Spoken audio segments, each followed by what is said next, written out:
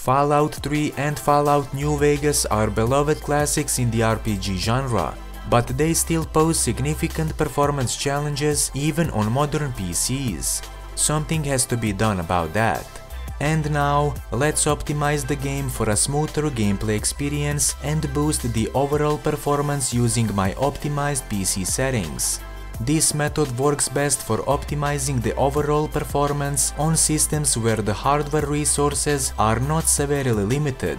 Otherwise, I recommend checking out my other guide video focusing on reaching the maximum possible performance as it is more suitable for squeezing out every bit of performance that's left.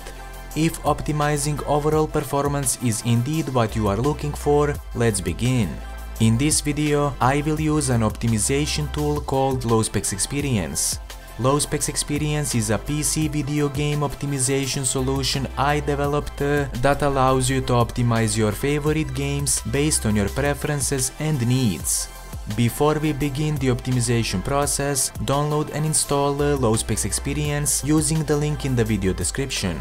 So first things first, start the installation process for the LowSpecs Experience once the installation is complete, start it using the newly created desktop shortcut. Now go to the optimization catalog, select the applicable digital platform and select your game from this drop-down menu. Once done, press the load the optimization package.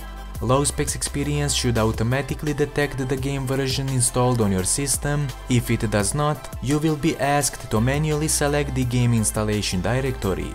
Now press OK and the optimization control panel will load.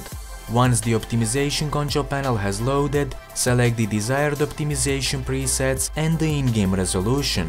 The optimization control panel in LowSpecs Experience offers many optimization presets, so it is best to experiment by testing them and see what works best for you and your system. And now, to apply the optimization, press the execute optimization button and then uh, start your game.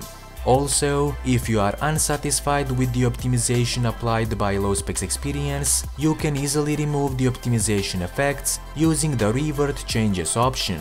That will do it for this video. If this video was helpful, be sure to like and subscribe. Until next time, happy gaming!